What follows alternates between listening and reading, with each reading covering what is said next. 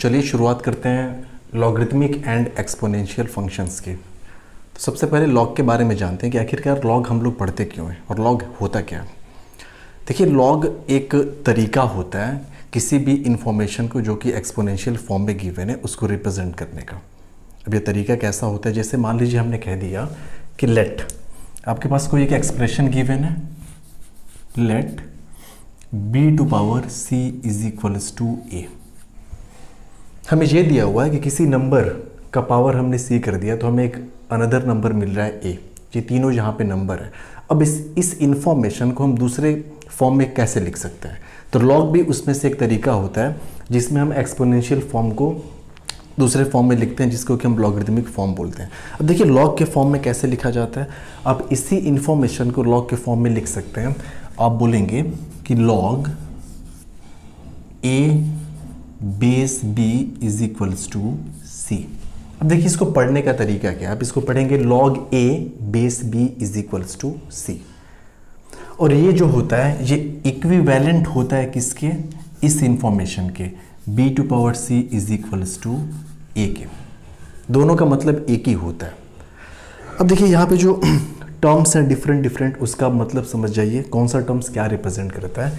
ये जो आपको b दिख रहा है इसको बोलते हैं हम लोग बेस ऑफ़ लॉग ये लॉग का बेस होता है, जो आपको यहाँ पे ए दिख रहा है, इसको हम बोलते हैं एर्गुमेंट ये आपका हो गया एर्गुमेंट और साथ ही साथ ये जो सी आपकी दिख रही है this is value of log यानी कि जब लॉग की वैल्यू हमने कैलकुलेट की, वो चीज़ निकल के वैल्यू ऑफ़ लॉग तो ये लिखने का एक तरीका हो गया log of a base b is equal to c और इसी को हमने एक्सपोनेंट फॉर्म में लिखा b to the power c is equals to a अब यहाँ पे जो कंडीशन है लॉग डिफाइन होने के लिए क्या क्या कंडीशन होनी चाहिए? अब यहाँ पे जो कंडीशन है, वो आप बोलेंगे कि ए और बी ये जो दोनों के दोनों हैं ए एंड बी दोनों पॉजिटिव होने चाहिए ग्रेटर देन ज़ीरो होने चाहिए। साथ ही साथ जो बेस है b should not be equals to one base की वैल्यू एक के बराबर नहीं होनी चाहिए। आपके दिमाग में आ रहा हो कि ऐसा क्यों होता है? तो देखिए, ये सब मैथमेटिक्स में लॉगरिथमिक अगर आप लोगों को मैथमेटिक्स पढ़नी पड़ी, जो लोग मैथ्स वाले हैं, उसमें लॉग में आपको डिटेल में बताया जाएगा कि बेस को हम लोग एक के बराबर क्यों नहीं लेते हैं और वन और टू इन दोनों की वैल्यू पॉजिटिव क्यों ली जाती है।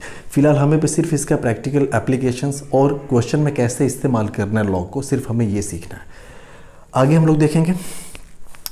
ये a b greater than zero both should be positive and b should not be equals to one log के डिफाइन होने के लिए। अब कुछ कुछ और बातें जो इसके रिगार्डिंग हमें जाननी चाहिए। जैसे, अभी देखिए वहाँ पे हमने कुछ कुछ एग्जांपल्स ले रखे हैं। एग्जांपल्स में हमने कन्वर्जन लिख रखा है, यानी कि ये जो लॉग के फॉर्म में आपको इन्फॉर्मेशन गिवन है, इसको हम कैसे एक्सपोनेंट के फॉर्म में लिखेंगे? तो देखिए लॉग एक्चुअल में होता क्या है? इसका एक दूसरा पहलू अगर हम देखें समझने के पॉइंट ऑफ़ व्यू से तो जैसे हमने अगर यहाँ पे लिख दिया कि लॉग कुछ भी हमने लिख दिया सपोज़ करिए हमने लिख दिया लॉग एक्स बेस वाई ये इक्वल्स टू किसके बराबर होगा? तो आप बोलेंगे लॉग एक्स बेस वाई वो उस नंबर के बराबर होगा। एक्चुअल में ये जो पूरा का पूरा टर्म है लॉग एक्स बेस वाई ये एक नंबर को रिप्रेजेंट करता है। यानी कि वो ऐसा नंबर है जिस नंबर को अगर वाई के पावर में रख दिया जाए तो हमें ये आर्गूमेंट की वैल्यू मिल जाएगी। समझ में आया? तो हमने बोल दिया, ठीक है, ये जो log x बेस y है, इसकी वैल्यू एक पर्टिकुलर नंबर के बराबर है। उस नंबर को हमने कह दिया z अब उस z की खासियत क्या होगी? तो आप बोलेंगे कि ये जो z होगा, इस z को अगर हम इस बेस के पावर में कर दें तो हमें ये x मिल जाएगा। तो चलिए करते हैं। आप बोलेंगे z को हम y की पावर में कर दें। यानी y टू दावर z ये करने के बाद क्या आ जाना चाहिए? आपको x मिल जाना चाहिए। तो देखिए यहाँ पे जो लॉग के फॉर्म में इंफॉर्मेशन गिवन थी उसको हमने एक्सपोनेंट के फॉर्म में कन्वर्ट कर दिया।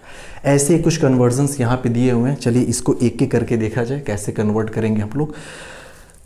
इसमें पहला क्वेश्चन ये कह रहा है कि लॉग एट बेस टू देखिए जो नीचे लिखा होता है वो बेस होता है और ये आपका आ, इस नंबर का हम बेस इस पे ले रहे हैं टू पे ले रहे हैं। ये आपका एर्गूमेंट कहलाता है। अब इधर वाला नंबर हमें ढूंढना है कि आखिरकार नंबर होगा क्या। तो आपको पता है कि इधर वही नंबर आएगा जिस नंबर को अगर टू की पावर में कर दें तो हमें एट मिल जाना चाहिए। हमें नहीं पता कि ये नंबर है क्या। लेट हमने कह रखा है कि ये नंबर मान लीजिए कि एक्स है। हमने इस नंबर को क्या मान रखा है? एक्स यानी कि अगर हम x को 2 की पावर में कर दें तो क्या मिलेगा हमें 8 तो आप बोलेंगे कि 2 to the power x is equals to हमें मिलना चाहिए 8 2 टू दी पावर x कितना मिलना चाहिए? एट। इसको हम लिख सकते हैं further two to the power 3 अब देखिए दोनों तरफ़, बेस कॉमन है, टू और यहाँ भी टू। जब भी बेस कॉमन होता है तो पावर को हम इक्वेट कर सकते हैं। यानी कि आपको मिल गया x is equals to three. X is equals to क्या आपको मिल गया? थ्री। तो आप इसको लिख सकते हैं, x is equals to three अब इसको एक्सपोनेंट फॉर्म में लिखना है तो एक्सपोनेंट फॉर्म में इजी है लिखना। बेस देखिए चेंज नहीं होता। ना तो एक्सपोनेंट के केस में बेस चेंज होता है, ना तो लॉग लॉग के केस में बेस चेंज होता है। अब यहाँ से देख सकते हैं। अब बोलेंगे, देखिए लॉग के फॉर्म में ये इन्फॉर्मेशन लिखी थी, यहाँ पे बेस बी था। जब एक्सपोनेंट के फॉर्म में किया तब भी वहाँ पे बेस बी ही है। सिर्फ़ हो क्या रहा है कि जो पावर है, वो राइट हैंड साइड में चली आ रही है, दूसरे साइड में चली आ रही है। तो आप बोलेंगे कि यहाँ पे करेंगे क्या? बेस तो वही रहेगा। तो देखिए, इसको अगर हम यहाँ से लिखना चाहें एक्सपोनेंट के फॉर्म में तो चलिए एक्सपोनेंट के फॉर्म में हम इसी इन्फॉर्मेशन को लिख रहे हैं तो आप बोलेंगे बेस वही रहेगा टू और इस टू की पावर अगर ये हम नंबर कर दें थ्री तो हमें क्या मिल जाना चाहिए? ए, ये एर्गूमेंट मिल जाना चाहिए एट आप इसको जनरलाइज करके ये भी लिख सकते हैं। अगर हम, चलिए हमने मान लिया कि बेस जो अपना बेस है बेस को हम कैपिटल बी से रिप्रेजेंट करें कुछ देर के लिए, जो आपका एर्ग्यूमेंट है एर्ग्यूमेंट को हमने कह दिया कैपिटल ए से रिप्रेजेंट कर रहे हैं। साथ ही साथ ये आपका बेस ये आपका एर्ग्यूमेंट ये आपकी जो वैल्यू है वैल्यू ऑफ़ लॉग इसको हम वी से रिप्रेजेंट कर रहे हैं। यानी कि वैल्यू वैल्यू ऑफ़ लॉग इसको हमने किससे रिप्रेजेंट कर रखा है? वी से। तो देखिए लॉग के फॉर्म में अगर इंफॉर्मेशन गिवन है, उसको हमें एक्सपोनेंट के फॉर्म में कन्वर्ट करना है तो आप सिंपल ये बोलेंगे कि b to the power sorry argument is equals to आप ऐसा लिखेंगे कि argument is equals to b to the power जो भी वैल्यू ऑफ़ लॉग होगी वो। यानी a is equals to b to the power v देखिए, सिर्फ़ हमने सिंबॉलिक फॉर्म में लिख रखा है आप लोगों को समझाने के लिए। अब यहाँ पे भी आप वही कर सकते हैं। एर्गुमेंट कितना था? एट तो आप बोलेंगे एर्गुमेंट यहाँ पे है एर्गुमेंट इज़ इक्वल्स टू यानी eight is equals to base to the power value जो है लॉग की। यानी ये लॉग और लॉग की वैल्यू कितनी निकल के आई ये थ्री इसलिए base to the power three अब देखिए इसको यहाँ पे हम करें, इस क्वेश्चन को ज़रा सा हम देख लेते हैं। यहाँ पे आपने देखा, आप बोलेंगे कि यहाँ पे ऐसा नंबर आना चाहिए, हमने मान लिया एक्स कि उस नंबर को अगर हम 64 के पावर में रेस करें तो वैल्यू कितनी मिलनी चाहिए? One by two one by two कहने का मतलब क्या है? आप बोलेंगे वन बाई टू का मतलब है two to the power minus one two को ऊपर लेके जाएँगे। हमने बता रखा है कि जो पावर होता है प्लस का माइनस माइनस का प्लस हो जाता है। तो यहाँ पे देखिए, आप बोलेंगे 64 ये जो बेस है, इसके पावर में अगर हम इसको कर दें, यानी 64 टू दावर एक्स तो हमें क्या मिलना चाहिए? एर्गुमेंट मिलना चाहिए one upon two one upon two मतलब two to the power minus one अब 64 का पावर कितना हो जाएगा? 64 इसको हम 2 के फॉर्म में अगर लिखना चाहें तो आप लिखेंगे 2 टू द पावर इसको हम लिख सकते हैं 6 और ये यहाँ पे x दिया हुआ है is equals to two to the power minus one which implies ये 2 टू द पावर 6x हो गया, और यहाँ पे 2 to the power minus one हो गया। बेस यहाँ पे कॉमन है, दो और दो तो हम कह सकते हैं कि 6x जो होगा it will be equals to minus one तो x किसके बराबर हो जाएगा? माइनस वन अपॉन सिक्स के बराबर। तो आप बोलेंगे यहाँ पे आ गया माइनस वन अपॉन सिक्स। अब इसको हमें एक्सपोनेंट के फॉर्म में लिखना है। देखो लॉग के फॉर्म में तो हमने लिख रखा है। लॉग के फॉर्म में तो हमने लिख दिया कि log one upon two base sixty four is equals to minus one upon six होगा। एक्स की वैल्यू हम लोग कैलकुलेट कर चुके हैं। इसी को एक्सपोनेंट के फॉर्म में लिखे तो हम कैसे लिखेंगे? Argument is equals to base to the power जो वैल्यू निकल के आ रही है। तो आप लिखेंगे एर्गुमेंट यहाँ पे कितना है? तो एर्गुमेंट यहाँ पे वन अपॉइंट टू है। तो one upon two is equals to आप लिखेंगे one upon two is equals to base कितना है? सिक्सटी फोर तो 64 टू द पावर जो भी वैल्यू निकल के आई है माइनस वन अपॉइंट सिक्स तो हो जाएगा माइनस वन अपॉइंट सिक्स ये हमने लिख दिया यहाँ पे। इस क्वेश्चन पे आते हैं। सारे के सारे क्वेश्चंस बिल्कुल आसान है, इसमें कोई भी दिक्कत आपको नहीं होनी चाहिए। आप बोलेंगे, चलिए मान लिया कि ये भी किसके बराबर है? एक्स के बराबर है। इसको भी हमने किसके बराबर मान लिया? एक्स के बराबर। तो चलिए, आप बोलेंगे कि 5 टू दावर एक्स किसके बराबर होना चाहिए? 25 के बराबर होना चाहिए। इसको हम ऊपर यहीं पे सॉल्व कर दे रहे हैं। आप बोलेंगे 5 to the power x equals to 25 के बराबर होना चाहिए।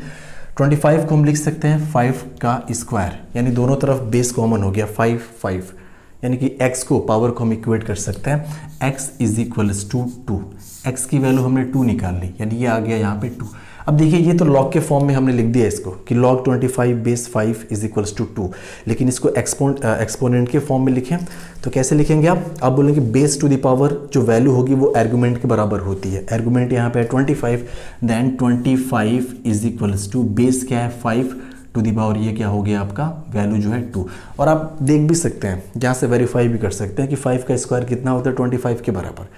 यानी कि फाइव का स्क्वायर ट्वेंटी फाइव कहें या फिर आप ये बोलें कि log 25 base 5 is equals to two दोनों का मतलब सेम है। सिर्फ़ हमने एक ही इन्फॉर्मेशन को दो तरीके से लिख रखा है। बाकी इसमें कुछ खास चीज़ नहीं की गई है। अब देखिए, आपके मन में सवाल आता होगा, अरे, जब एक ही इन्फॉर्मेशन को दो तरीके से लिखना ही था तो फिर ये लॉग के फॉर्म में कॉम्प्लिकेट करके क्यों लिखा गया? यही इन्फॉर्मेशन आसान थी कि five square square to twenty five इसको इस फॉर्म में लिखने की क्या ज़रूरत थी कि log twenty five base five is equals to two देखिए लॉग जो होता है, आपके कैलकुलेशंस को आसान कर देता है। अब किस फॉर्म में कैलकुलेशन को आसान करता है? लॉग मल्टीप्लिकेशन को एडिशन में कन्वर्ट कर देता है और जो डिविजन्स होते हैं, उनको सब्सट्रैक्शन में कन्वर्ट कर देता है। अब आपको पता हुआ कॉमन सेंस की बात है कि ऐड ऐड करना चीज़ों को मल्टीप्लाई मल्टीप्लाई करने कंपैरिजन में ज़्यादा सिंपल है। वैसे सब्सट्रैक्ट करना डिवीज़न करने से भी सिंपल है। इसीलिए लॉग का यूज़ किया जाता है। चलिए इस पर आते हैं हम लोग। लॉग फाइव बेस 25 लॉग 5 हो गया, बेस 25 इज़ इक्वल्स टू हमने मान लिया कोई नंबर है x x मतलब ये वैल्यू ऑफ़ द लॉग इस लॉग की वैल्यू अब आप बोलेंगे कि यानी कि 25 का पावर अगर x करें तो हमें आर्गूमेंट मिलना चाहिए 5 तो चलिए 25 to the power x is equals to argument हो गया 5 इसको हम लिख सकते हैं 5 का स्क्वायर इसको क्या लिख सकते हैं? फाइव स्क्वायर यानी फाइव स्क्वायर हमने लिख रखा है और ये बाहर x पड़ा हुआ है is equals to five to the power one which implies इधर देखिए फाइव का पावर हो गया टू और ये x, यानी टू एक्स पावर मल्टीप्लाई हो जाते हैं। तो five to the power two x is equals to five to the power one five five base common है। It means two x is equals to one which implies x is equals to one upon two यानी इसकी value हमने निकाल ली one upon two अब इसको exponent के form में easily हम लिख सकते हैं। एक्सपोनेंट के फॉर्म में कैसे लिखेंगे आप? आप बोलेंगे, कुछ नहीं सिंपल तो है। अब argument is equals to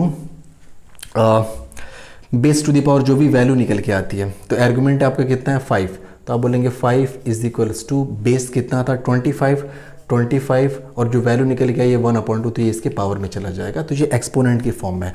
तो आपने देखा कि ये जो फॉर्म है हमने एक्सपोनेंट के फॉर्म में लिख रखा है।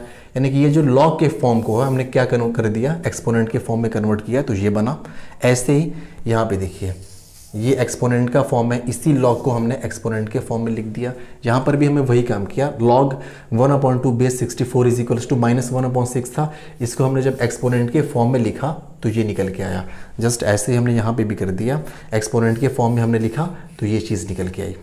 लॉग के फॉर्म में कैसे इसी इन्फॉर्मेशन को हमने लिखा था कि log five base twenty five is equals to one upon two अब देखिए ये क्वेश्चन है। इस क्वेश्चन को अभी इसको हम डायरेक्ट कर दे रहे हैं। आप बोलेंगे थ्री का हम कौन सा पावर यहाँ पे जो नंबर आएगा, वो ऐसा नंबर होगा कि जिसको हम थ्री की पावर में करें तो नाइन आ जाए। तो आप बोलेंगे टू होना चाहिए। क्योंकि टू को अगर थ्री के पावर में करें तो नाइन आ जाएगा। तो इसको हमने कर दिया टू तो देखिए, इस इन्फॉर्मेशन को लॉग के फॉर्म में तो हमने लिख दिया। अब इसी को एक्सपोनेंट के फॉर्म में लिखना है। तो क्या एक्सपोनेंट के फॉर्म में लिखना टफ है क्या? नहीं।